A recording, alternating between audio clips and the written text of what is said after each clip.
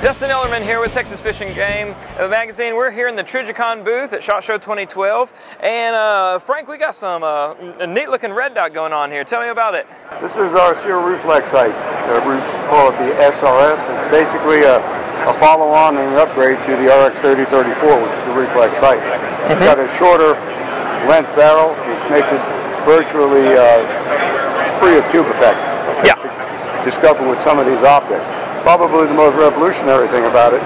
It has a solar collector, actually photovoltaic collector here, which is the primary power source for this optic. Good deal. The backup is a AA battery. Just a one AA. Located right on the side. With this setup, that battery has a life of out to three years, and uh, because very seldom is actually powering the optic.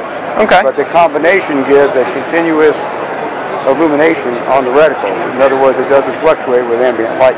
Good deal. It's got uh, six different power. Uh, it's got several power settings that you can adjust from right here on the side. Okay. Or that. One go up, one go down. That's that's correct. Okay. Is it always on? It's an on and off, and it can be turned off. It also has a. It's about weighs 13.8 ounces with the mount, and so it's pretty compact and. Uh, pretty good piece of gear. Very clear glass, non-magnified, so it's a reflex sight. The dot on this sight is a 1.75 minute of angle. Okay. Makes it very precise. Yeah, yeah, yeah, right around, right below two.